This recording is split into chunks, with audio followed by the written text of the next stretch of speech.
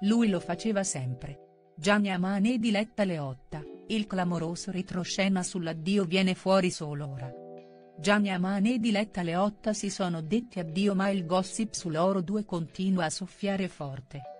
A lanciare la bomba è Alessandro Rosica, il paparazzo ed esperto di gossip conosciuto su Instagram come investigatore social che ha svelato presunti retroscena su questa love story in un'intervista rilasciata al settimanale Mio. Una voce che arriva proprio mentre l'attore turco sembra aver ritrovato la serenità accanto da un'altra donna. Gianni Aman infatti sembra essere molto vicino all'attrice Demet Özdemir. Potrebbe esserci qualcosa fra loro, ma non voglio sbilanciarmi.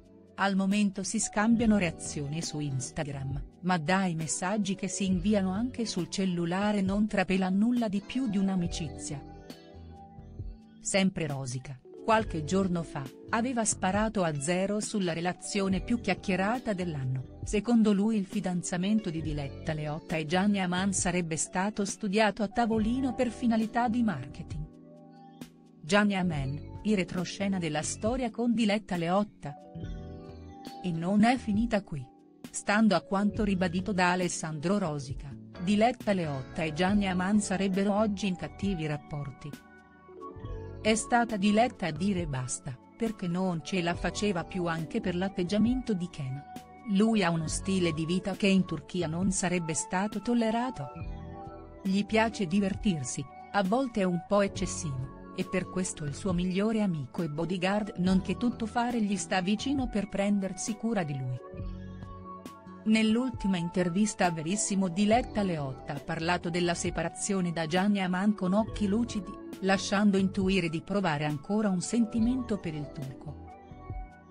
È stata una storia bellissima, un sogno, una favola, un colpo di fulmine, così Diletta inizia a descrivere il suo rapporto d'amore. Diletta Leotta ora lo sappiamo, è rimasta ferita dalle critiche sulla presunta relazione costruita. Io e Gianni Aman siamo due ragazzi di 30 anni che si sono conosciuti, che si sono amati, che hanno cercato di vivere questa passione enorme. Un turco e una siciliana, un mix esplosivo.